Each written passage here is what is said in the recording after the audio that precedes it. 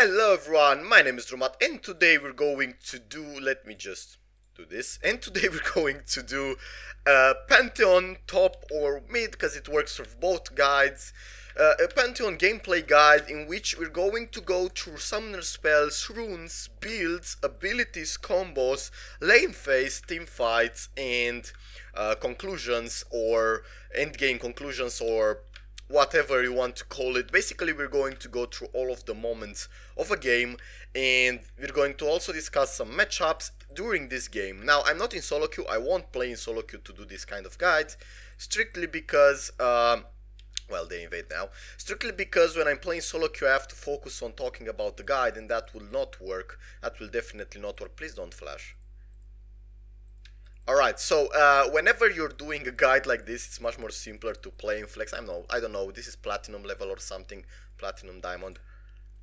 And we could we could fight. Okay, he flashed. Wow, wow, wow.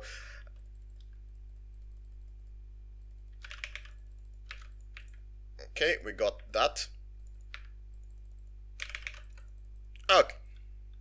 Well, I'm not sure what was the flash from that guy about, but this just gives me a lot more lane incentive, so to say, such as a longsword. We're going to play Pantheon top with Ignite and Flash. Summoner spells for top, for mid, for support are uh, Ignite and Flash, mainly because Pantheon cannot be a champion that plays with Teleport because he needs the kill pressure. Now, why would you play this on top?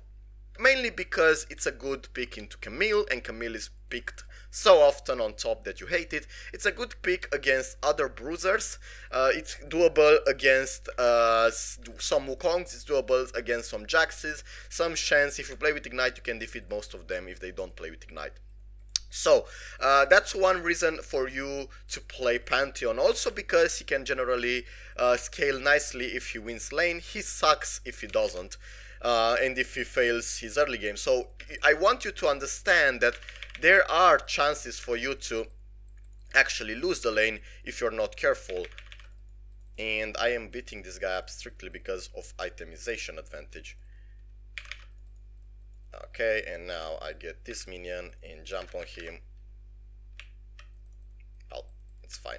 Alright, so now I have to word for the Hecarim, impending Hecarim gang, because we need to have our E ready and basically when you pick Pantheon top you think like can I do this? Can I survive the lane? Can I destroy the lane? If the answer can I destroy the lane is yes then obviously you should pick it.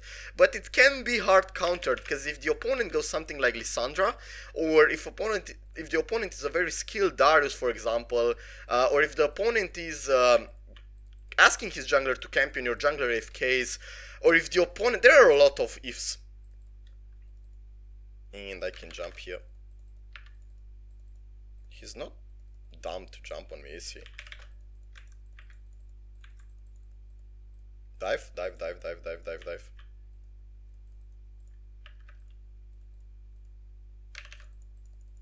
Okay, I haven't attacked. I haven't attacked. He's so dead.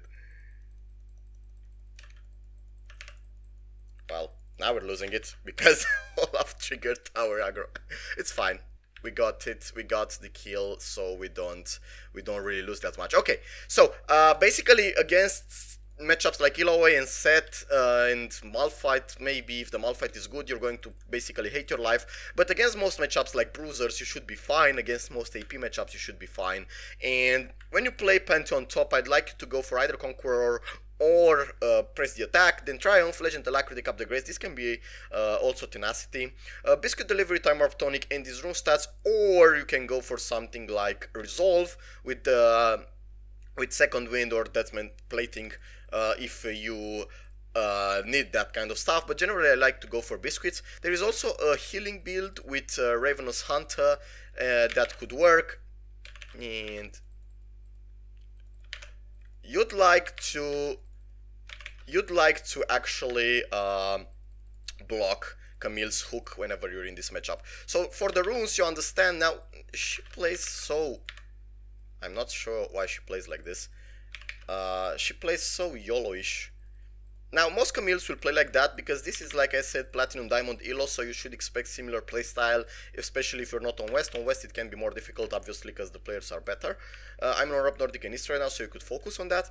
Um, so it's fine for items I want you to generally start especially if you play with Time Warp Tonic even if you don't play with Time Warp Tonic I want you to focus on the uh, on the corrupting potion start because it's so strong okay Will she into me?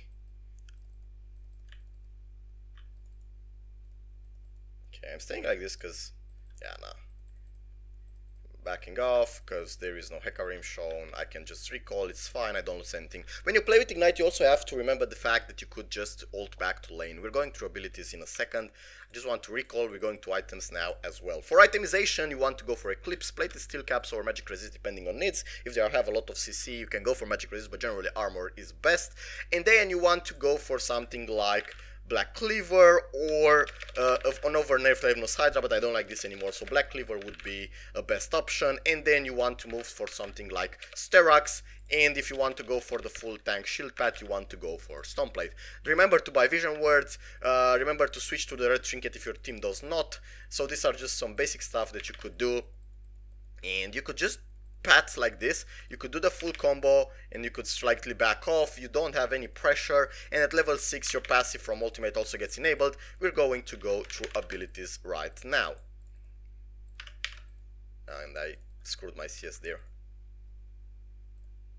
Okay, there is a Hecarim in our jungle. We could definitely go there. He ulted. And we killed him, because there is not way for Camille to actually reach first. Okay, I cannot lose this one versus one.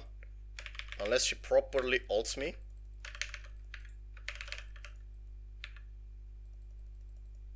dodge that and now just stick here we're fine if she comes we're fine so uh, we won that very hard and well Zoe cannot really do anything to us so we talked about the build let's talk about the spells the abilities that this champion has and let's just push this in and also I want to emphasize that playing this champion requires also some wave management uh, tactics or skill because on top you're going to need it uh, basically, top is the most important lane to know wave management and lane management. Okay, I can sell this and go for some armor. Some of the armor is also useful against most matchups. Alright, so for abilities, Pantheon has a passive after using 5 abilities or attacks. Pantheon's empowers next ability. Basically, when your bar is full, something else happens on your Q, W, and E. Ultimate is simple, gains passive armor penetration, and you jump somewhere on the map. Good to come back to the tower, generally useful to uh, counter engages, uh, well, to jump on engages, to do the engages onto unsuspecting targets. In team fights, you can ult behind them, but you have to remember that if you don't have Sterak's or Stoneplate or both, you might get burst down to a CC until you cast this spell, and this spell, Aegis Assault, makes you invulnerable. That's your E. In the past, it also blocked tower shots, so it made you invulnerable to that. Uh, no longer, so you gotta know that. You're no longer going to block tower shots. If she jumps on me here, I'm going to absolutely dismantle her. She does not. Alright, so E makes you invulnerable. If your E is uh, with a full bar, uh, basically you're going to block for more seconds. You also get movement speed when you cast it, uh, when you stop it actually. And it has two parts. The part where you press E and the part you press E again. The second part deals some damage, uh, some small burst and gives you movement speed. The first part just deals some overtime damage. Basically your W will be your mini stun, your second to max spell, and your Q uh, will be your... Um, well, W is point and click, by the way, that's what we remember, that's what we need to know. And your Q is your bread and butter spell. Remember to never ever throw your Q into the lane unless you have to. Throw by, I, I mean throw by strictly pressing and, um, you're going to see what I mean. Right. Okay, cast D. Ah! Ignite didn't take, it's fine. Not a problem because we win bot and I gave a shot down there but we tried to block. We could have killed them both if we weren't into the tower. So your Q is your bread and butter spell. It says here tap, you deal damage, refund 60% of the ability cooldown. If your bar is stacked, fully stacked, then you will deal more damage, which is good as an execute. So whenever you have a full bar, you can do a full Q, or you can engage with W, because W, when it's fully stacked, is going to do 3 auto attacks, which is very important. Now, you need to come back to lane most of the time with your ult, but you can also roam bot. But remember, if you roam bot, you're going to lose a lot. Now, she used this, and she's going to probably recall, so to guess, right in this bar, so we can cast ult here, we can catch her, okay, she's not here, but we can chase a bit and throw the Q. Okay, she might recall here. Nah, she doesn't. Okay, we can just force push this. Right now, we're going to strictly push and get it into the tower. We might get ganked again, it doesn't matter so I'm going to make level 9. Basically, your fight skills, your combos will be something like, you have a full bar, good, you're going to W, because that does 3 auto attacks that procs Conqueror or press the attack, whatever rune you chose, instantly, and then you can stack it up your full Q, and you can get the kill. We see Zoe here, and Sett, they hint a bit. I see also Hecarim there, which means I have a free lane to do whatever I please here, and I'm going to look at this. I'm fine on top, I'm watching the map as well. They seem to int a bit. There is also a plate that I want. And you should expect the opponents to jump on you and with E you should block most of the stuff. So the, the combo part should be something like fully stack W or poke with Qs and then when you have the bar full you fully stack it, you deal fully stack W into Q, into instant E if you want to burst. Instant E I mean you press it twice and that's something that you could do. Look, this is an obvious engage, right? Now, this is how you win trades. She didn't do any damage to me whatsoever, and I can return now onto her. I can just auto-attack her to death. Okay. Okay, the full combo, as you've seen, is either E first, because you want to block some kind of damage, or W first, because you want to do the three auto attacks in a row from that there might be a there might be a Hecarim that comes. I'm going to try to bait it out. Nah it's fine. We're not going to get that. Yeah we can die for we can definitely die for. She does have ult okay come come come come come come come. Why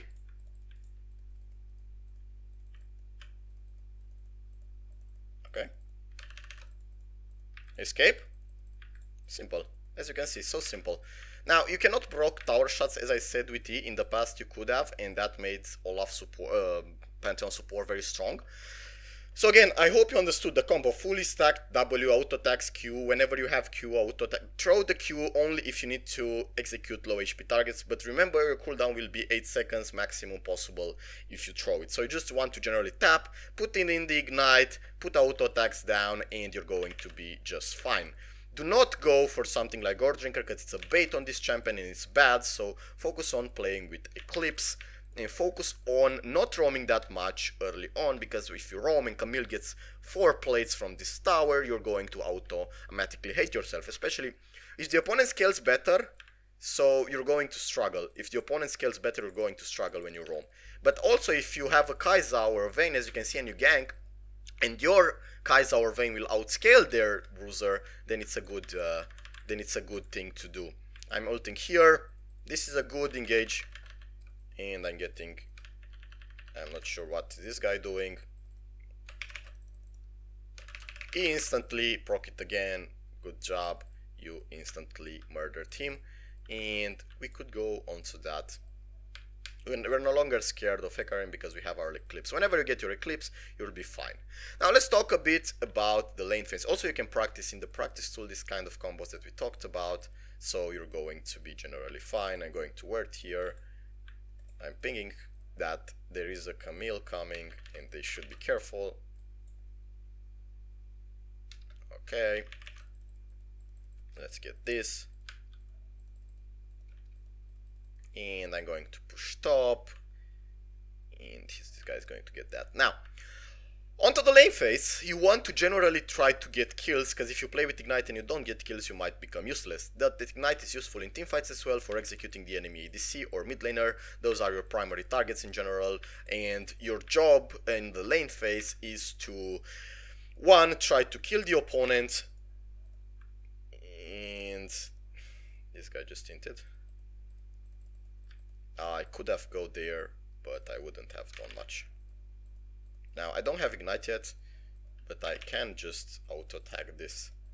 If Camille also comes, I'm going to be in a bit of a pickle. And Camille definitely will come soon. Oh no, she's bot. Okay, I see Sett.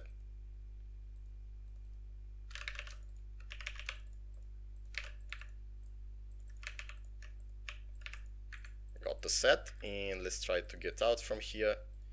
Uh, that's that didn't feel like it. I got the Sett. I tried to outplay, but he escaped me. It's fine. We got so many kills onto that Hecarim. It's actually painful, but we scale better, so we're going to be fine. Now onto the lane phase. Ignore these parts of Camille will not be more useful than me now, regardless. But I need to follow. Whenever your top laner goes, you could go if you beat him. This this guy is giving up anyway, so it's an auto win. But for the lane phase You've seen how I played. If you have a favorable matchup, so early on you can it can be a Jax, it can be maybe a Camille, it can be any AP mage, it can be even ADCs. You beat those two, you beat Quinns too. It's annoying to play against those. You beat Lucians too, but you gotta be careful. That's all. But uh, you beat Ornns, you beat Maokais, you beat everyone until they stack armor. So early on you have to capitulate on the fact that you are stronger and that, that you also have an ignite. Your job on the lane phase is to not waste ignite without getting a kill. So you should try to keep the flash, keep the Q in order to uh, get the kill because the opponent plays generally with teleport, right? And if you use ignite, you're going to make him use his teleport and you're going to most likely lose. I'm coming.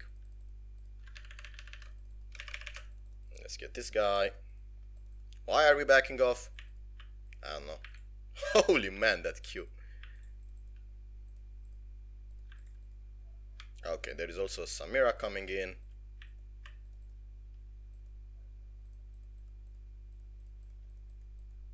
Okay, we got that.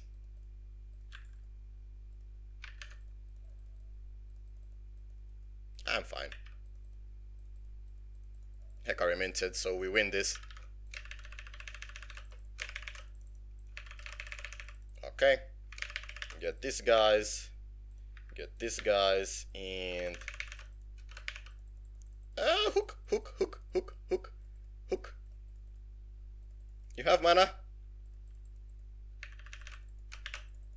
Alright. 8 kills, that's fine.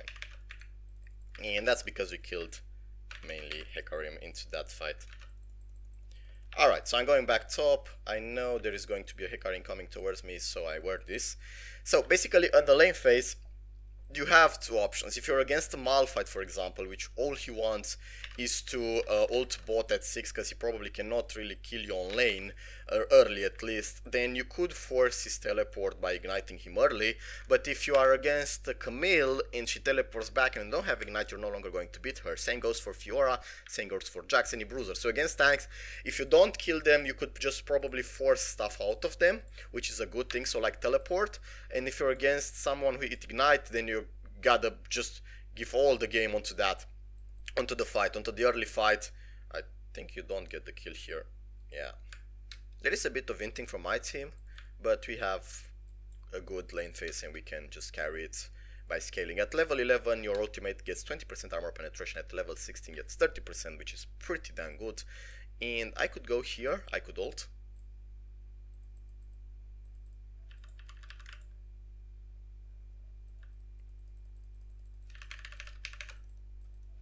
And that guy almost suicided.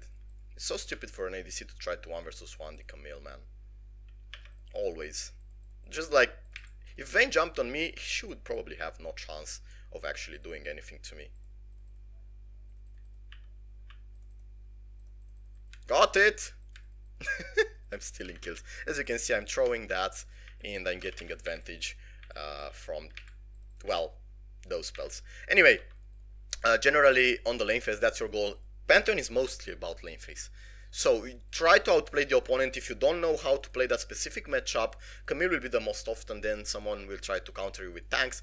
Illaoi, Darius, Darius should be banned. Illaoi should be carefully played around or dodged, but this is so rare. There are also some other matchups which I never see. I'm casting here. That's okay. This guy inted. Okay, I'm backing off slightly. Okay. Okay.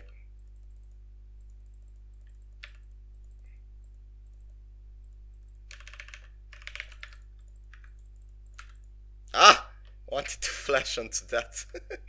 but it's good for a 1 versus 9 that we did there.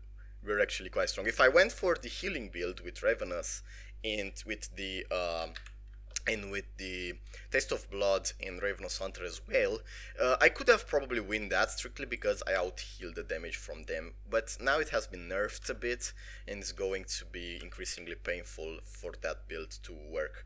So I see there is 300 gold more, I cannot sell this. Uh, man, stop it. There is a teleport, there is a teleport, there is a teleport, I've seen the teleport. You're going to get ganked.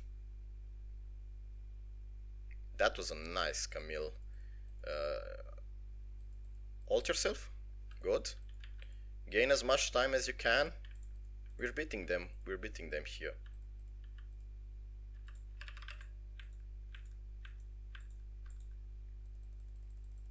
Okay, go, go, go. Okay, I got the Camille.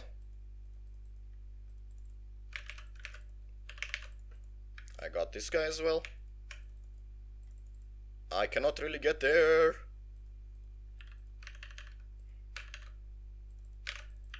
Bam.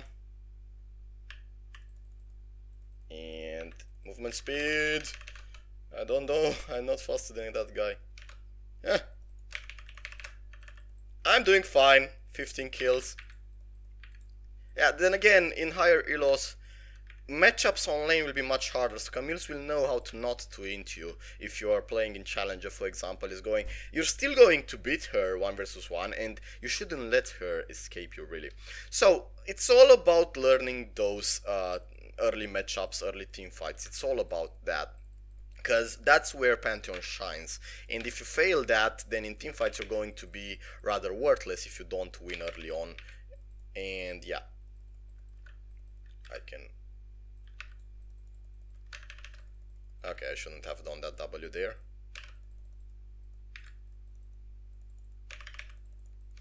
I missed that also. I entered. I entered, I entered, I entered, I entered, I entered. I was focusing on freaking talking and that's why I cannot properly play this. Now this is a win for us because we have the Vayne chasing them. Okay, we, we cannot lose this in under any way because of that Drake. And look at the Olaf, really. Well, I think Olaf will just kill them all. Ah, oh, he has no ult. But Vayne doing Vayne things, Hecarim has no chance. And you cannot really escape either. It's not that... I don't care that much about this. Wow. Strictly because we already won when we got the Drake, we can int like this for 10 more fights, like random fighting, and we're still gonna win.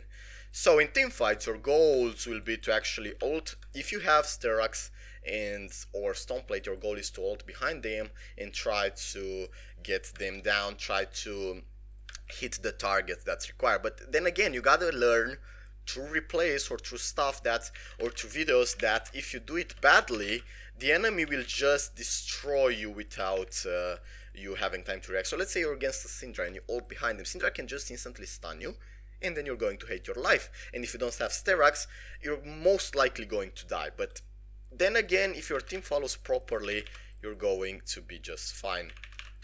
And we don't have our jungler here. We're gonna win this regardless. Okay. Okay, bye. Mini stun that.